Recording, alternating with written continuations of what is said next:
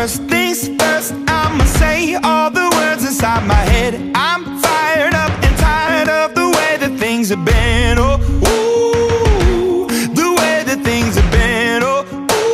En estos desafíos que me pone la vida, tengo el placer de entrevistar en Vox Populi a una persona que tiene un programa de televisión hace 28 años, hace 30 años que trabaja en los medios de comunicación.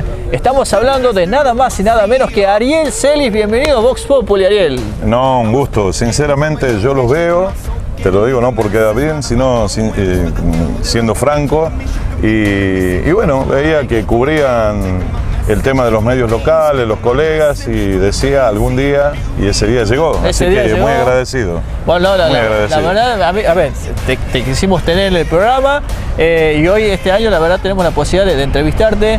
Eh, no es fácil estar muchos años trabajando en el medio de comunicación, en un programa de televisión que tiene ya es un, es un clásico.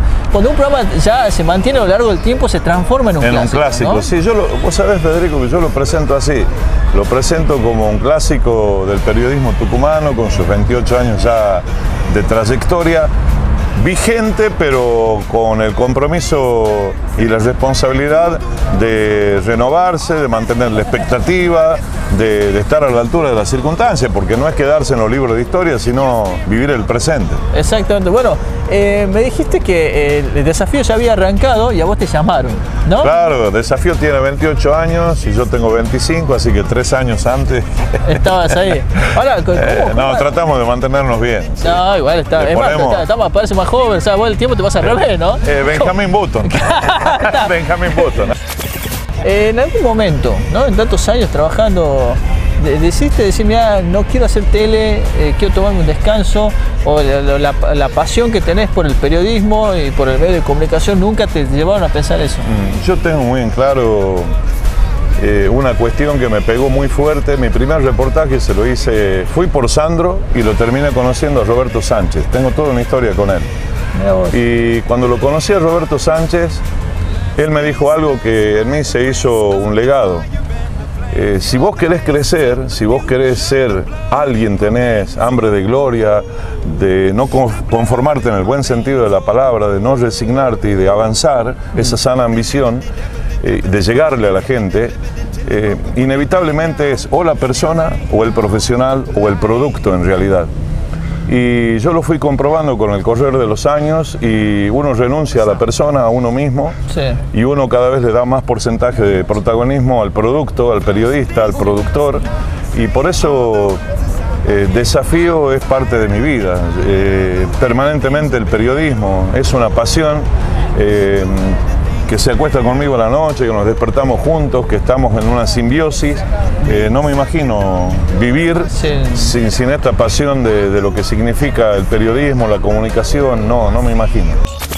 Bueno, la verdad, Ariel, eh, primero y principal, para mí es un, es un gusto y un placer poder entrevistarte, porque yo respeto mucho a la, a la gente que está en los medios de comunicación, que ejerce el periodismo, y aprendo mucho de ustedes. Este, y Muchas para mí es, es, un, es un honor poder tenerte en el programa y entrevistar a una persona con una trayectoria como la que tenés vos. Así que este, yo no sé cuántas veces te habrán entrevistado, pero yo la verdad lo siento como algo único para mí y para la gente que hace el programa también. No, Así por que favor. te agradezco por, por No, estar no, aquí el con nosotros. agradecido soy yo. Te cuento rápido que eh, hay una alternativa que estamos apostando muy fuerte, Fede. Sí. El próximo viernes 24 de agosto, ahora 22, en el Teatro Rosita Ávila, presentamos una obra de mi autoría que se llama Las cosas como son. Eh, es una obra donde la realidad pega fuerte y pega duro y es muy cruda y se va a representar allí donde la gente, los anónimos de siempre, esa gente que no tiene una- un micrófono, una cámara, una radio o un diario para aparecer en los titulares, que es la gente que hace vida, que hace mundo, que hace patria en el día a día, Sí. ese día la gente va a estar arriba del escenario eh, en, en lo que es el desarrollo del guion de la obra. Es un mensaje bastante emotivo, una apuesta con actores en escena, con una banda de música, con videos, con, con una serie de cuestiones que eh, te digo honestamente, y no es porque sea la obra nuestra, sino que está a la altura de cualquiera, y ustedes que conocen mucho, de cualquiera de, lo- de las obras que se presentan en calle Corrientes, en Capital Federal. Eh, yo los invito a que vayan, eh, que estén ahí. Hay gente como Sebastián Olarte, Nancy Vera Groy, Carlos Carrizo, maestro de la banda de música, Marcela Manova, Alejandra Muratore, Víctor Juárez. eh, una importante. serie de profesionales, sí, de lo mejor del medio y con, con un mensaje, insisto, muy, muy fuerte. Bueno, están invitados entonces toda la gente para que vayan. Sí, sí, ¿Ah? sí. esperamos contar incluso con, con la producción de, de Vox de tu programa, por supuesto. Bueno, bueno, Sí, sí, sí, agradezco sí. la invitación entonces para que estemos ahí. ¿eh? Los espero ahí, con mucho gusto. Bueno, gracias Ariel por venir, compartir este- estos minutos con nosotros en el programa. Así que ojalá más adelante podamos seguir charlando, porque la verdad hay muchas cosas para, para hablar Uy, del periodismo. la Tan vida. largo como soy yo.